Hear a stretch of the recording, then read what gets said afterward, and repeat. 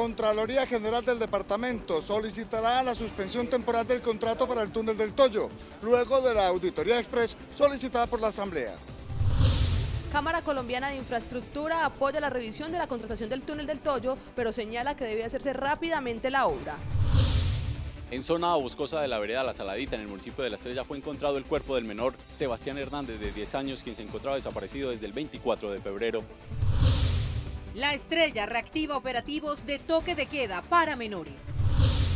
Preocupante la situación en la que se encuentran 39 familias con sus hijos en situación de discapacidad. Detalles en minutos.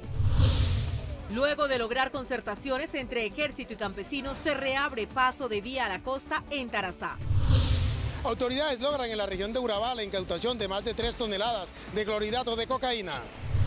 Amenazado el presidente del Consejo Municipal de Puerto de Río, los hechos estarían relacionados a denuncias y al control político realizado desde la corporación. Un centro educativo rural y 15 viviendas fueron afectadas tras un incendio forestal en el sector Mote del municipio de Ituango.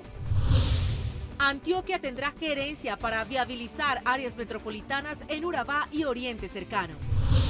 Examen de la Universidad de Antioquia no tendrá tercera prueba.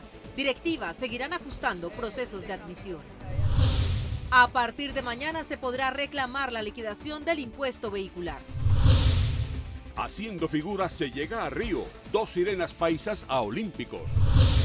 El clásico paisa otra vez con aficionados de los dos equipos. La primera taquilla será poderosa. En la Copa Colombia los empates siguen de moda. Rojos y naranjas se repartieron el botín. Y espere, en la zona rosa de Teleantioquia Noticias. Nueve reclusos de la cárcel de Itagüí protagonizan obra de teatro en competencia nacional.